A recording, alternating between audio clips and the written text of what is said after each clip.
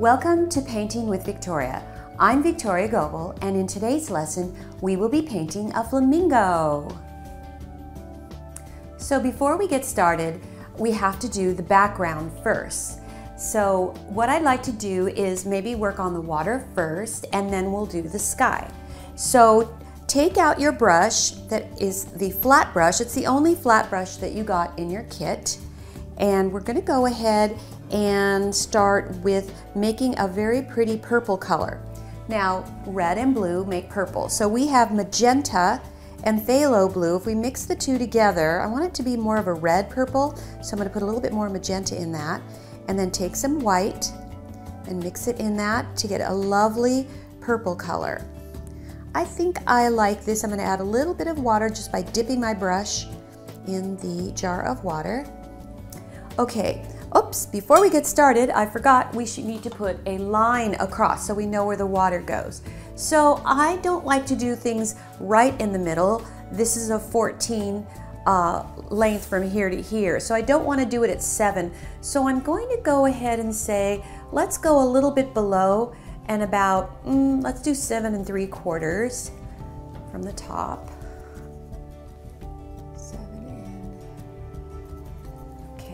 And now I'm just gonna draw a line across just to establish my horizon line on the water. There we go. That was simple.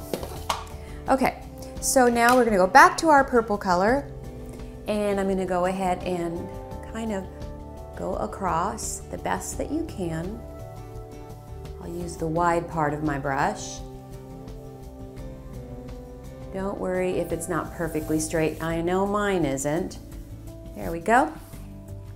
Dip it in a little water again. And so now I'm just gonna do some brushy strokes like this, going side to side.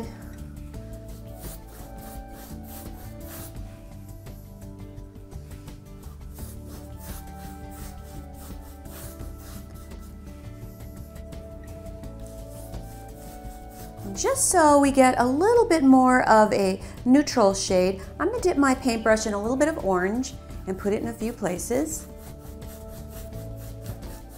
And from here, I'm gonna take it and dip it into the white.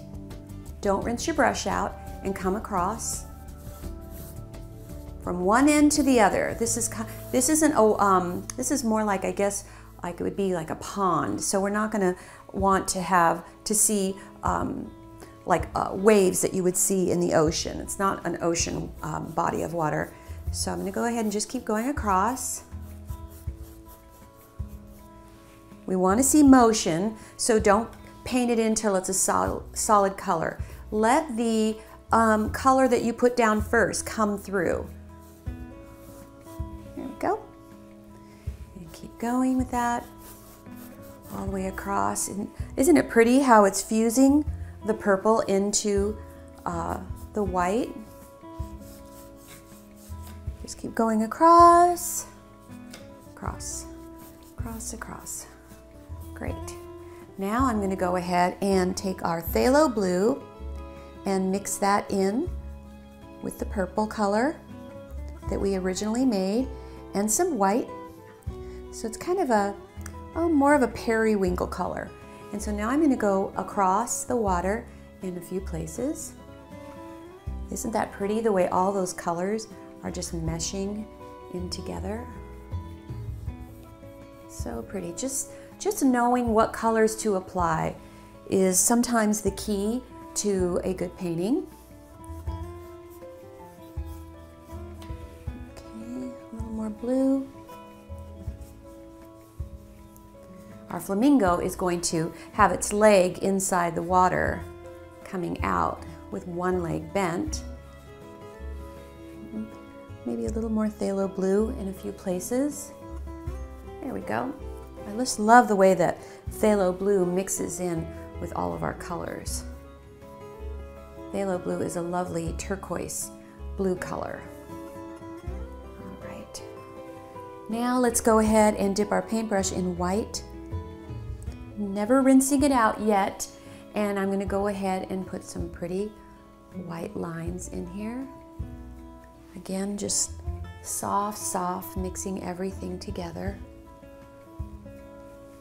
Just soft strokes, not really pressing hard on my canvas, just very lightly. Okay.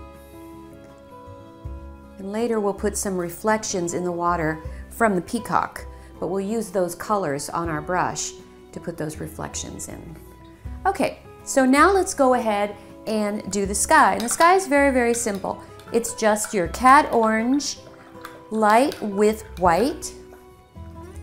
So what we're gonna do is take some white and mix it with our orange create a beautiful sunset orangey sky. And I'm just gonna lay some color down right here. As you can see, I always kind of skip a space.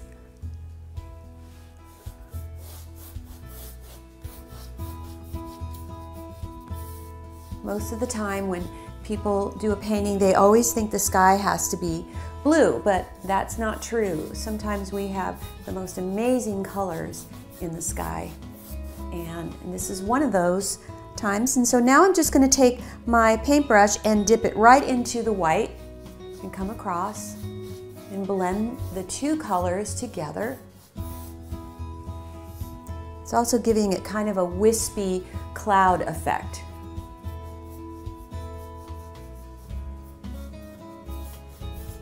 When we get done with this part, we're going to take this outside and let it dry for about 10 minutes. Oops, sometimes you drip and you just it's just best to just come across here and blend that in. Even that peach color is pretty. Yeah, I guess I'll just keep going with it. There we go. And that can be reflecting the, the sky into the water. Okay, let me rinse my brush out because I don't want to put purple in my sky. And some of that purple was still wet. Okay, so back to dipping it in the white and blending it in with our beautiful tangerine color.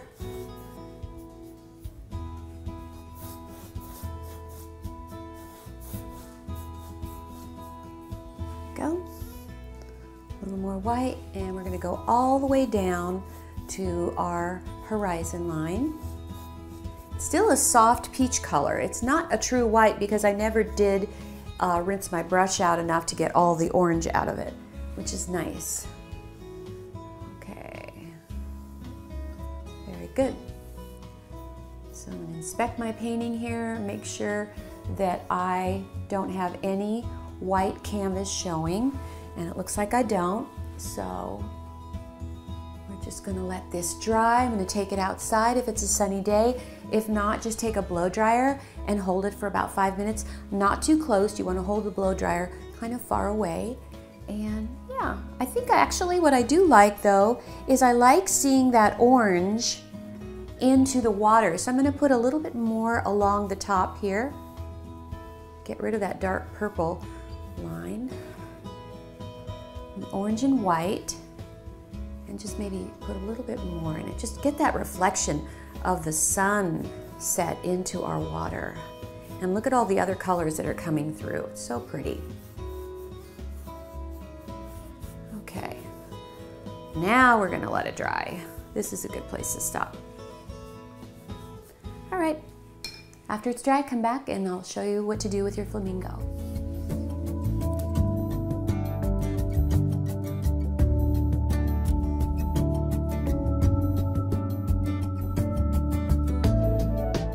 Okay, so I was blow drying my canvas because it was a little humid outside and um, if it's a sunny day and it's humid, it is still gonna take too long for your painting to dry. So have a blow dryer on hand that um, that's dry heat and that'll dry it a lot nicer. So I'm touching this, it feels great. So now what we're gonna do is take our flamingo template that came in your kit and this would probably be one of the hardest things to to draw and one of the things I love about my lessons is that I there's no drawing required. Um, I don't even want to draw a flamingo and I'm a professional artist. So I have these lovely templates for you to use and what we're going to do is place our flamingo somewhat in the center and we want to make sure that we hand uh, trace all the way around our template. Sharpen your pencil so it's nice and sharp and you'll get nice clean um, lines. But see where his foot is right here? You don't even need to do the foot. In fact, you could just cut it off if you want to. But the reason why I'm leaving it in case you want to do this painting again and you want to have him on the ground, you'll want to do his foot. But this leg is actually in the water and so we won't see that foot. And we're just going to go ahead and trace everything else. And let's see, I kind of want to lift him up just a little bit higher. Okay, so I'm gonna go ahead and start tracing him.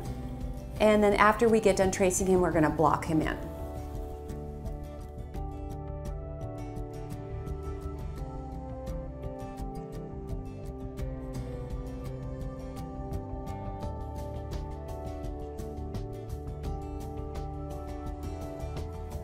Okay, so I've got this completely traced. I'm gonna lift up, make sure I got it all. Yep, and so while I um, have got my pencil out, I'm gonna go ahead and just sort of sketch up like this and across here.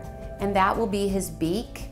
And then let's go ahead and bring a line right down the middle and that'll be the middle of his beak.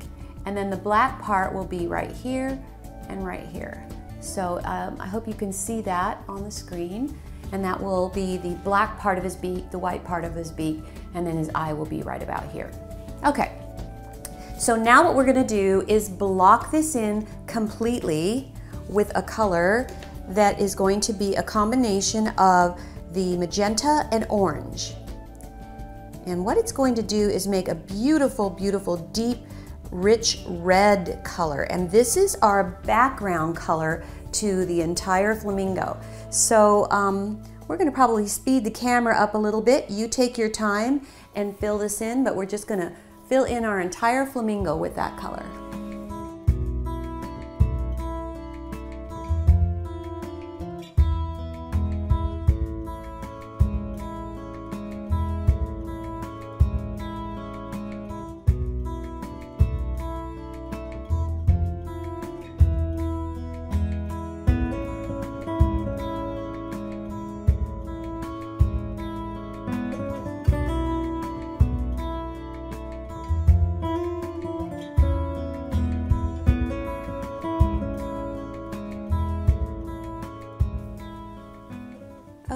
So I've blocked in my entire flamingo except for the beak area and the bottom part right here. And we don't really need to do that with the red because that's gonna be different than um, the rest of our flamingo. So this probably needs to go out and dry a little bit before we get started. Otherwise, um, we'll just be lifting paint off. So let it dry for about five minutes or hold a blow dryer to it um, for about five minutes and then we'll come back and work on the detail feathers.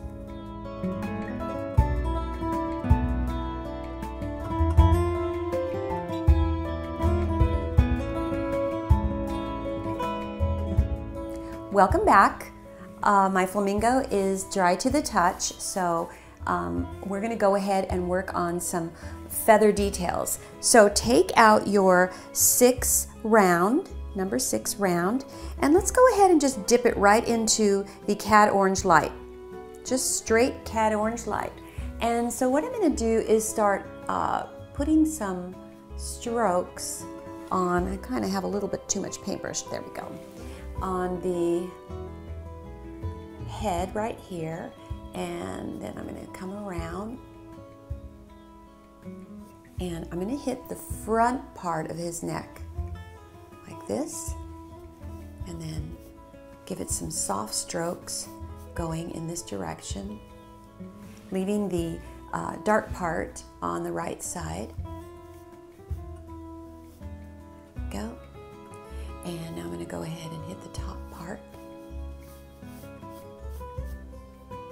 And the feathers, um, it's almost kind of like an ostrich too. The feathers are going down here, but then they're going up here where they're wings are. Okay, so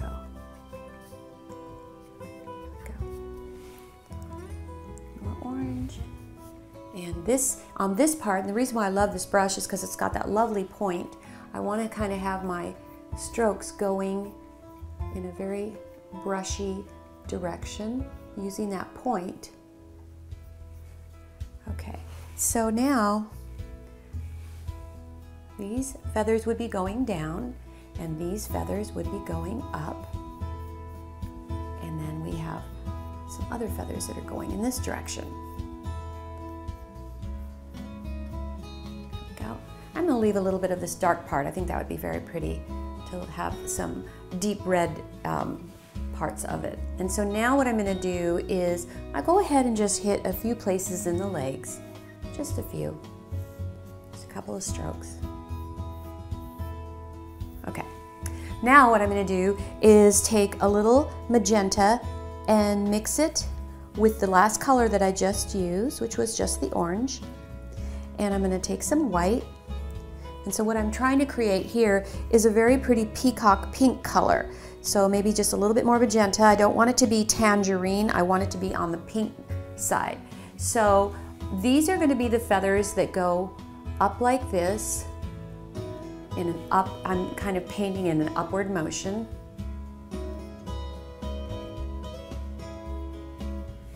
And I'll go ahead and do it with the feathers that are right here.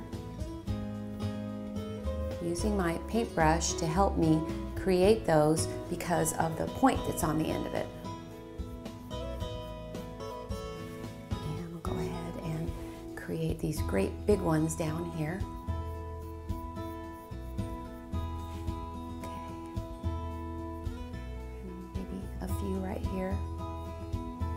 Doing is graduating with our color. We're going, we started deep and we're gonna get lighter and lighter and lighter.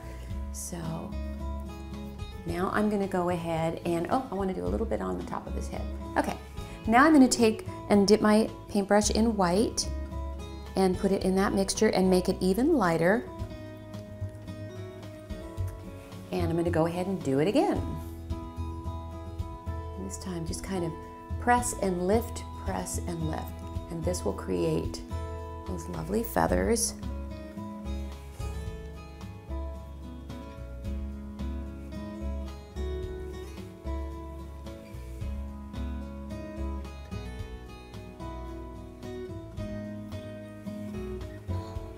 We're going to do it one last time once we get done with this layer.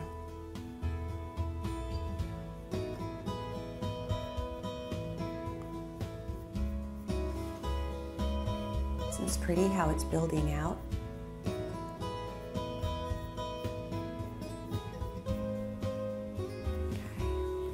And let's go ahead and I'm just going to hit a little, little bit on the top of his head.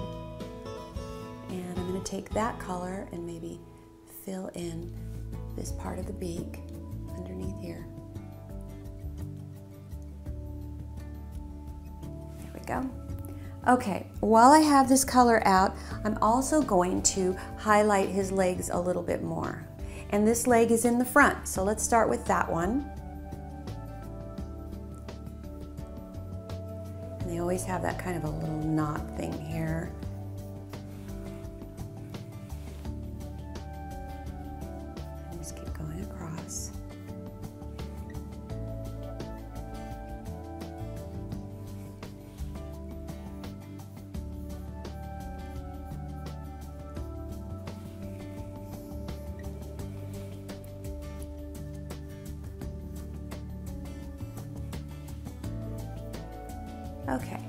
Now we're going to go ahead and go into just straight white. Just dip it in white.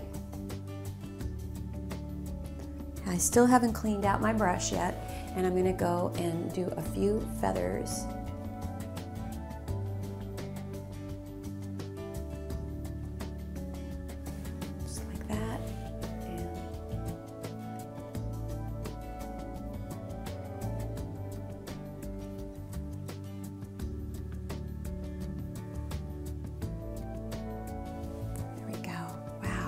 building out, isn't it?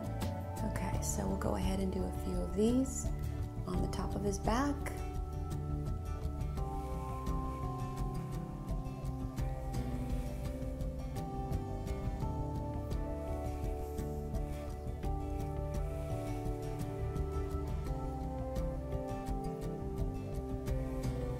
I think that's good. And I'm gonna go ahead and highlight with that same light color, highlight his legs again.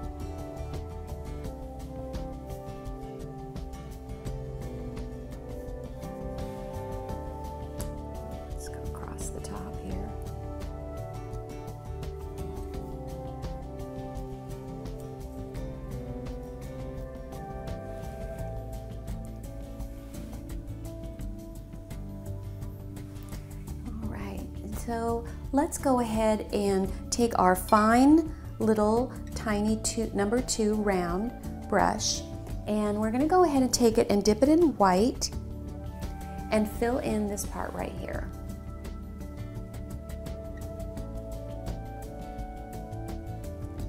Don't forget to leave a space for his eye. I can almost see the lead coming through.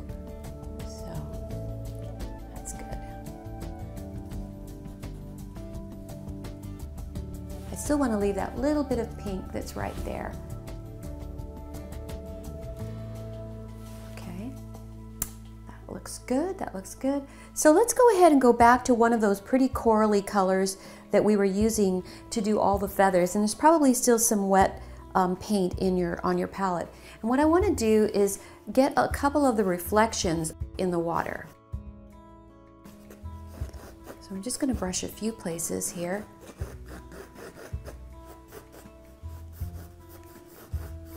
And that just sort of makes it look like um, he's standing there and there's a reflection of all of his colors inside. Okay, and then I'm going to go ahead and take a little bit of this pretty blue that we used when we made the water and just kind of do a circular motion here. So it looks like he's in there. Take some white with the same paintbrush and let's go ahead and just do some circular motions around.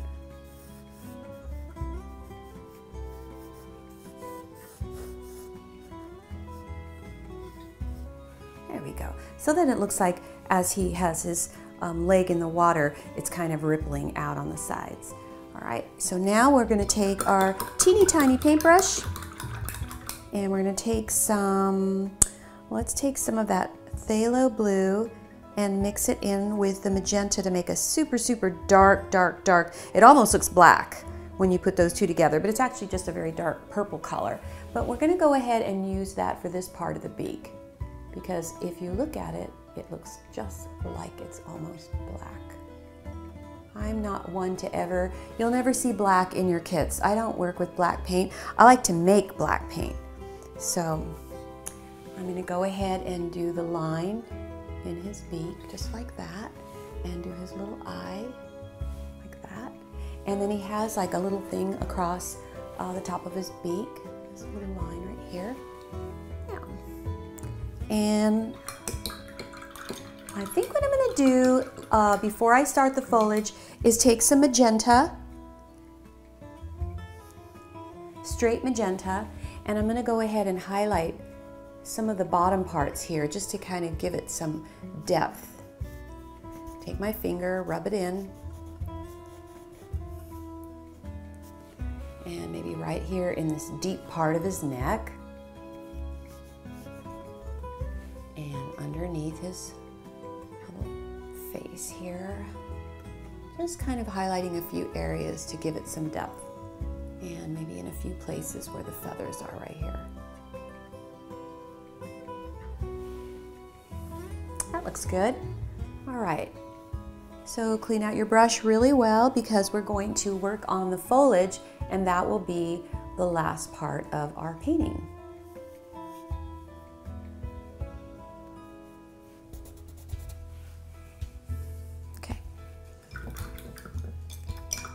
So take out your um, number six round brush and what we're going to do is uh, create some uh, foliage coming forward. Now, this is actually more in the forefront than the flamingo. So this would be the last thing we do because in all my paintings, we start with the back and we work our way forward. So what we're going to do is take the green and mix some orange in that green. And what that's gonna do is warm up our green.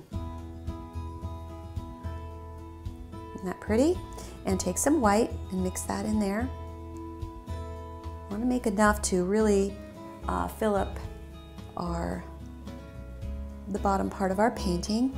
Okay, so now what I'm gonna do is, and this brush is great for creating these kinds of leaves because of that point. So all I'm gonna do is start with the point, come up, and then over. It's kind of like their tropical plants.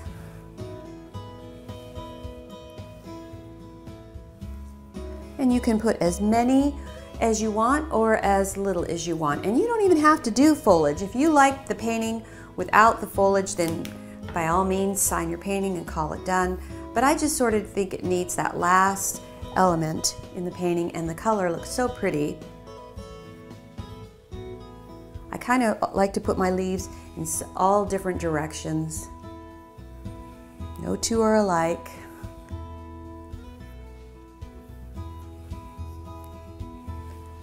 This, paintbrush just makes it so easy.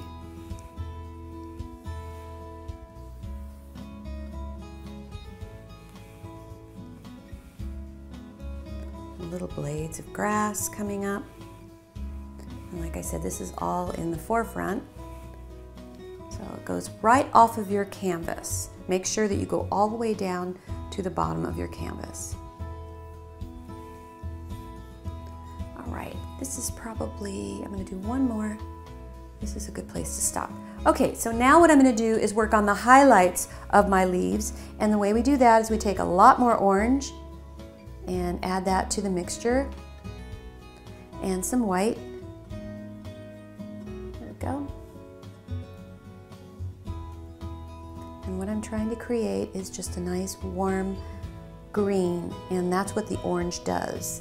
Okay, so now what I'm gonna do is just go over every leaf. Some will be in front and some will be behind and just highlight everything just by putting a stroke just like that. One, one swoop, don't overwork it.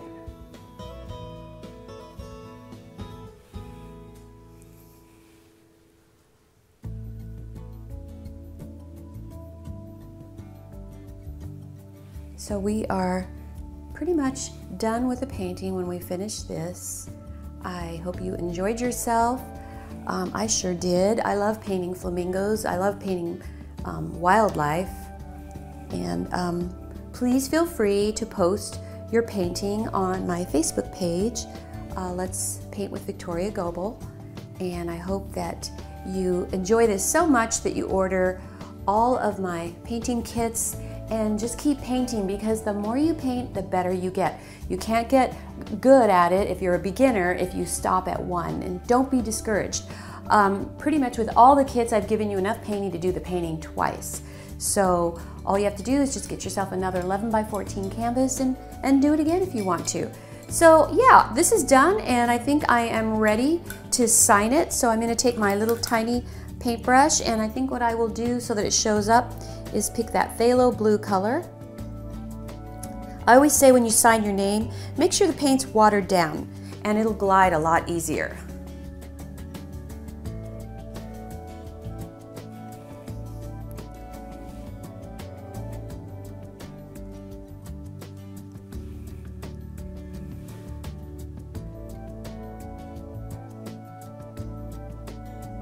There we go.